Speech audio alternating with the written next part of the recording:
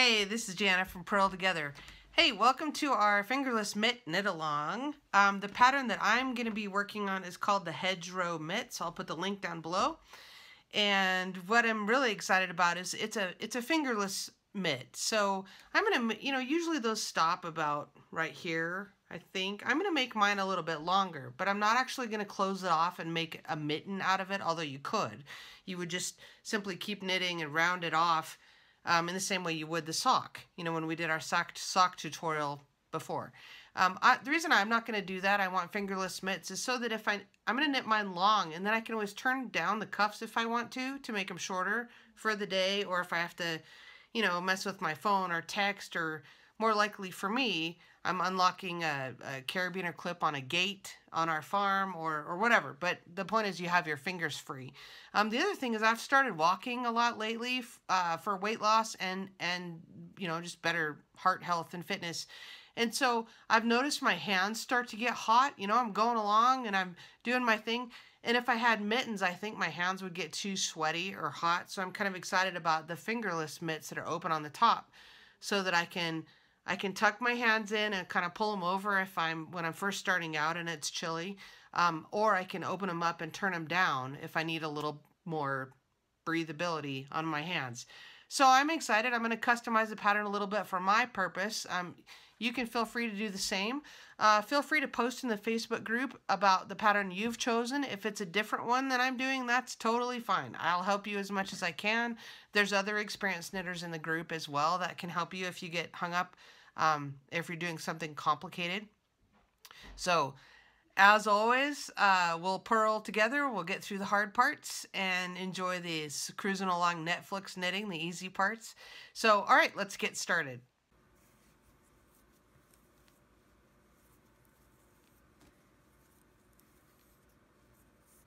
All right, we're casting on for the hedgerow fingerless mitts. I'll put a link to the pattern down below.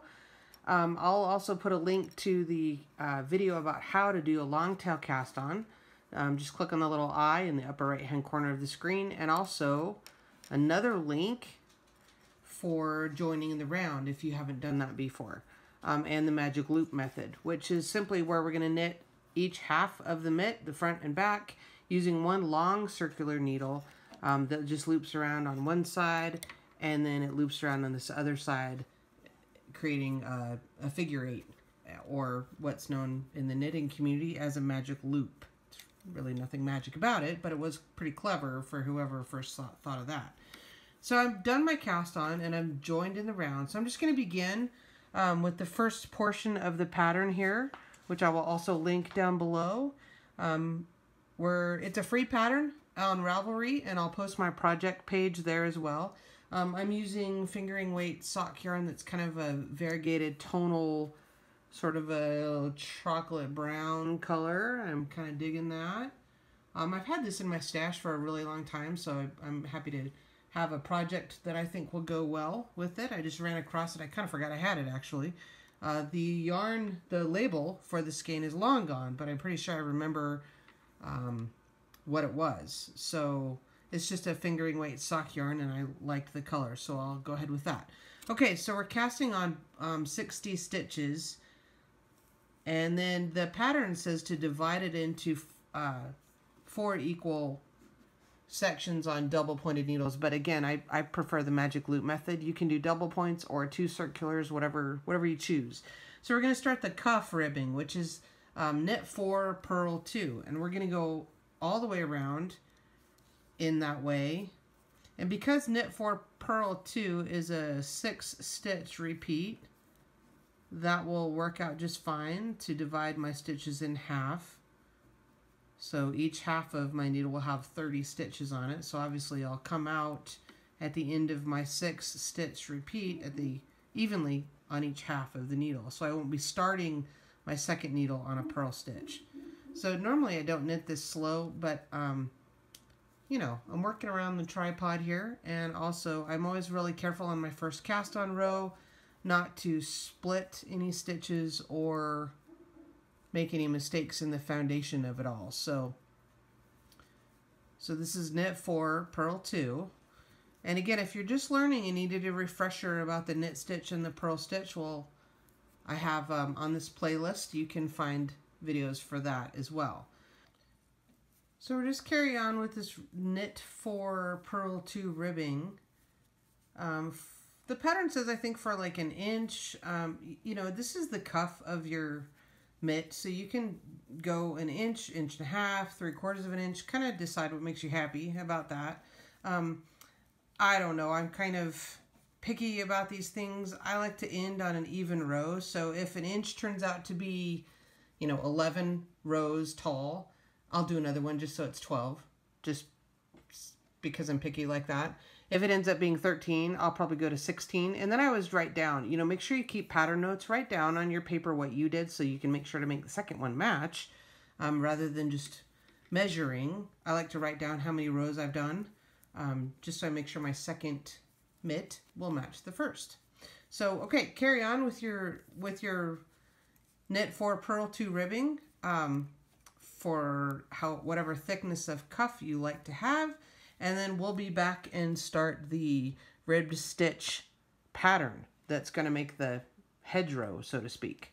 Okay, we've knitted, I've knitted 16 rows around. Um, that might be different for you depending on what your preference is for your gauge. Um, now we're going to go ahead and start the next section on the pattern, which is the ribbed stitch pattern, which is also a multiple of six. Um, now for rows one and two, we're going to knit two, then start the textured part, which is going to end up being a purl, knit one, and then purl two. And you'll notice that as you go through this and you repeat that six stitch sequence, your purl columns here are going to remain the same. So that'll line up and provide some stability and consistency to the pattern despite the alternating of the purl one knit one as we go. So again, we're going to knit two, bring the yarn to front so you can purl, and then go back and knit one and purl two. Okay, so we're going to carry on with this sequence. Um, that's round one and two. And the next round, you'll notice these rounds three and four, pardon me, not in the next round, you'll notice your purl columns are always going to stay the same. What's going to change in here is the placement of this single purl and the single knit. Those are going to swap. So you'll notice that and how, how it all, how your, the sequence of stitches kind of stacks together. But what I like about this pattern is that you still have the consistency of the purl column, even though the center of this ribbing is going to end up being textured, kind of a seed stitch texturing. So we're going to do that and we're going to knit that up to the base of the hand. So you're going to knit that as long as you want the arm of your fingerless mitt to be. I've already started my second one here and I just have it on a couple of uh, DPNs or double pointed needles just, just as a holder. But I, I wanted to knit it a little bit further so you could see the texture that that creates. See, this is the regular 4x2 knitting down here, and then you can see where it switches, and it makes that, that texture. So I really like how that's turning out. So what I'm going to do is I'm going to go ahead and knit this up to the length of the arm section that I want it to be. And then I'm going to do the same thing with this one. So when we're ready to begin this section that is the base of the hand where we start increasing the number of stitches so it goes around the, the widest part of your hand, I'll have both of my mitts at the same point. So you can do that too, if, certainly, if you have enough needles. If not, just do one at a time with me. Um, I'm going to carry on knitting this and I'll upload another video for you in a couple of days when I get to the next section. So as always, uh, leave a comment below if you have any questions or feel free to join us on our Facebook group. I'll put the link to that. And um, okay, knit on. Have a good week and show us your progress in the group if you like. All right, thanks for watching.